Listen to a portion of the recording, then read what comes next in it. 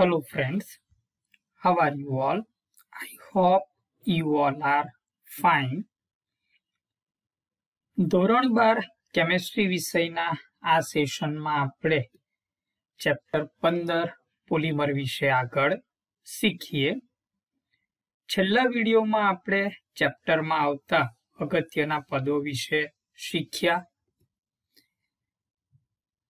આજે આપણે પોલિમરનું વર્ગીકરણ વિશે શીખીશું. પોલિમર પદાર્થોનું વર્ગીકરણ આપણે ઘણા બધા ક્રાઇટેરિયાને ધ્યાનમાં લઈને કરી શકીએ છીએ. જેમ કે, સ્ત્રોતને આધારે વર્ગીકરણ, બંધારણના આધારે વર્ગીકરણ, પોલિમરાઇઝેશન પ્રક્રિયાના આધારે વર્ગીકરણ, આણવીય બળોને આધારે વર્ગીકરણ અને પોલિમરાઇઝેશન પ્રક્રિયાની વૃદ્ધિ આધારે આપણે એનું વર્ગીકરણ કરી શકીએ. સ્ત્રોત આધારિત મુખ્ય ત્રણ વર્ગોમાં આપણે એને વહેંચી શકીએ. કુદરતી પોલિમર, સંશ્લેષિત પોલિમર અને અર્ધ સંશ્લેષિત પોલિમર. સ્ત્રોત આધારિત એટલે કયા સ્ત્રોતમાંથી મળે છે તે આધારિત. તો પ્રોટીન, રબર, ઊન એ કુદરતી પોલિમર છે.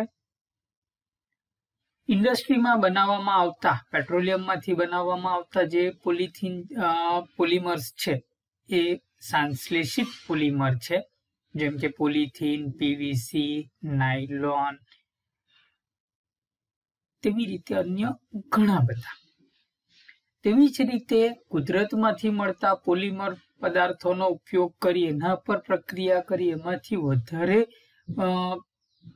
પ્રબળ અને કહી શકાય કે વધારે ઉપયોગી પોલિમર બનાવવામાં આવે. આ પોલિમરોને આપણે અર્ધ સંશ્લેષિત પોલિમર તરીકે ઓળખી શકીએ.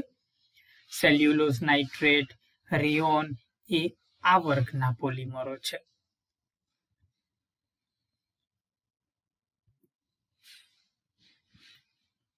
બંધારણ આધારિત એને મુખ્ય ત્રણ વર્ગોમાં વહેંચી શકાય. બંધારણમાં માત્ર સાદી રેખાઓ હોય અથવા તો એમ કે રેખીય બંધારણ જોવા મળે, આવા પોલિમરને આપણે રેખીય પોલિમર કહીશું. શાખીય પોલિમર, શાખાઓ ધરાવતા પોલિમર, જ્યારે મિશ્ર બંધિત પોલિમર એ શાખાઓ વચ્ચે ફરી પાછા અન્ય બંધો રચાવાને કારણે રચાતા પોલિમરને આપણે મિશ્ર બંધિત કહીશું. ઊન, ટેરિલિન, નાયલોન એ રેખીય પોલિમરના ઉદાહરણ છે. ટેફલોન પોલિસ્ટાઇરિન એ શાખીય પોલિમરના ઉદાહરણો છે. જ્યારે બેકેલાઇટ અને મેલેમાઇન જેવા પોલિમરો એ મિશ્ર બંધિત પોલિમરના ઉદાહરણો છે.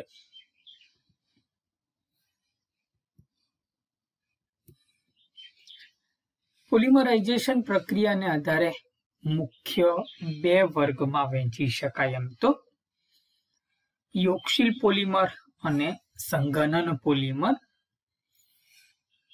યોગશીલ પોલિમર અન્ય બે વર્ગોમાં હોમોપોલિમર અને કોપોલિમરમાં વર્ગીકૃત કરી શકાય. ટેક્સમાં આપણને અહીંયા ચારે ચાર અલગ આપ્યા હોવાથી આપણે એને અલગ સ્ટડી કરીએ છીએ. આમ હોમોપોલિમર અને કોપોલિમરના દરેક ઉદાહરણોને આપણે યોગશીલ પોલિમરમાં કન્સિડર કરી શકીએ. તો પોલિથીન, પોલિપ્રોપિન જે દરમિયાન યોગશીલ પ્રક્રિયાથી રચાતા જે પોલિમરો છે, એને યોગશીલ પોલિમર તરીકે ઓળખી શકાય. હોમોપોલિમર અથવા તો હોમો યોગશીલ પોલિમર, જેમાં માત્ર એક જ પ્રકારનો મોનોમર હોય. એક જ પ્રકારના મોનોમરથી મળતા પોલિમરોને આપણે હોમોપોલિમર તરીકે ઓળખી શકાય. પોલિથીન પોલિસ્ટાયરીન અર્લોન પીવીસી ઘણા બધા અન્ય. કોપોલિમર એ એકથી વધારે પ્રકારના પોલિમરના મોનોમરના જોડાણથી મળતા પોલિમરને આપણે કોપોલિમર તરીકે ઓળખી શકાય. મોટે ભાગે આપણા સિલેબસ પ્રમાણે જોઈએ તો બધા જ જે રબરો છે, એ રબરો જે છે એ કોપોલિમર છે. જેમ કે એસબીઆર સ્ટાઇરિન બ્યુટાડાઇન રબર ગુનાએસ જે આ પ્રકારના જે પોલિમરો છે એ કોપોલિમર છે. જ્યારે સંગનન પ્રક્રિયાથી રચાતા જે પોલિમર છે, એને આપણે સંગનન પોલિમર તરીકે ઓળખીશું. જેમ કે નાયલોન બેકેલાઇટ મેલેમાઇન એ આ વર્ગના પોલિમરો છે. આણ્વીય બળને આધારે, પોલિમર અણુઓમાં રહેલા બળોને આધારે એને મુખ્ય ચાર વર્ગોમાં આપણે વહેંચી શકીએ. ઇલાસ્ટોમર પદાર્થો, રેસાઓ, થર્મોપ્લાસ્ટિક અને થર્મોસેટિંગ પોલિમર. ઇલાસ્ટોમેરિક ગુણધર્મો ધરાવતા પદાર્થોને આપણે ઇલાસ્ટોમર કહીએ, જેમ કે કુદરતી રબર અને કૃત્રિમ રબરો એ આના ઉદાહરણો છે. ટેરિલિન અને નાયલોન જેવા રેસાઓ એ રેસાઓ તરીકે ઓળખાશે.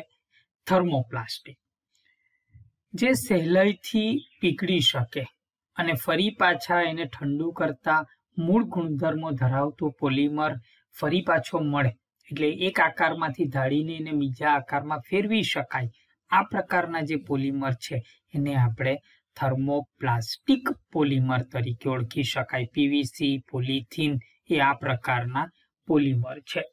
જ્યારે થર્મોસેટિંગ પોલિમર એટલે એવા પોલિમર છે જે એકવાર ચોક્કસ આકાર ધારણ કર્યા પછી ઊંચા તાપમાને પણ એ પીગળતા નથી અને જો વધુ ઊંચા તાપમાને એને ગરમ કરવામાં આવે, તો પોલિમરનો જે ગુણધર્મ છે ગુમાવી દે છે. દેટ મીન્સ એકવાર આકાર આપ્યા પછી ફરી પાછો એનો આકાર બદલી નથી શકાતો. આવા જે પોલિમર છે, એને આપણે થર્મોસેટિંગ પોલિમર તરીકે ઓળખી શકાય.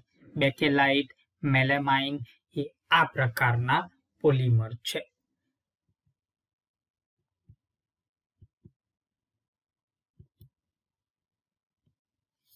પોલિમરાઇઝેશન પ્રક્રિયાની વૃદ્ધિને આધારે આપણે એને મુખ્ય બે પ્રકારમાં વહેંચી શકાય. કારણ કે બે પ્રકારની પોલિમરાઇઝેશન પ્રક્રિયાઓ આપણે જાણીતી છે. એક છે યોગશીલ અથવા તો આપણે એને સાંકળ રૂપ પોલિમરાઇઝેશન કહીએ. જ્યારે બીજી સંગનન અથવા તો જેને આપણે તબક્કાવાર પોલિમરાઇઝેશન તરીકે ઓળખી શકાય. હવે એનસીઆરટી બુકને આધારે જો જોઈએ તો આપણને માત્ર એક જ વર્ગીકરણ આપેલું છે, એટલે આપણે તેને થોડું ડિટેલમાં શીખીએ. બાકીના વર્ગીકરણો આપણને નીટ જેઈ માટે આગળના કામના છે, એટલે આગળની બુકોનો તમે સ્ટડી કરશો તો ત્યાં તમને આ બધા જ વર્ગીકરણો મળી રહેશે. સ્ત્રોત આધારિત વર્ગીકરણ. આપણે જોયું તેમ એને મુખ્ય ત્રણ વર્ગોમાં વહેંચી શક્યા. કુદરતી પોલિમર.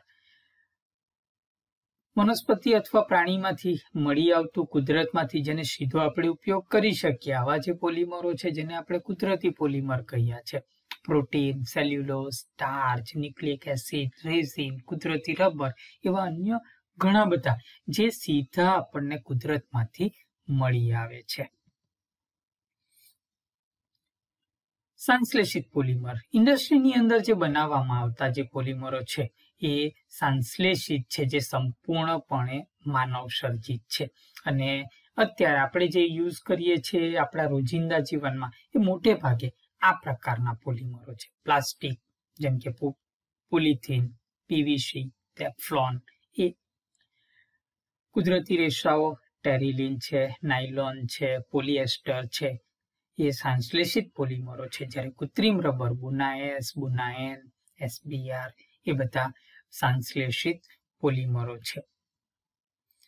જ્યારે અર્ધ સંશ્લેષિત કે કુદરતમાંથી મળતો પોલિમર પદાર્થ લઈ તેના ઉપર પ્રક્રિયાઓ કરીને તેમાંથી વધારે મજબૂત અને વધારે કાર્યક્ષમ પોલિમર મેળવવામાં આવે, એને આપણે અર્ધ સંશ્લેષિત પોલિમર તરીકે ઓળખી શકાય છે. આ રીતે આ પ્રક્રિયાઓ દ્વારા કુદરતી પોલિમરના ગુણધર્મોમાં આપણે ફેરફાર કરી શકીએ છીએ અને આપણે ઈચ્છિત ગુણધર્મોવાળા પોલિમર મેળવી શકીએ છીએ. સેલ્યુલોઝ એસિટેટ, જેને આપણે રેયોન કહીએ છીએ, સેલ્યુલોઝ નાઇટ્રેટ, તેવી રીતે વલ્કનાઇઝ્ડ રબર આ પ્રકારના જે પોલિમરો છે એને આપણે અર્ધ સંશ્લેષિત પોલિમર તરીકે ઓળખી શકાય.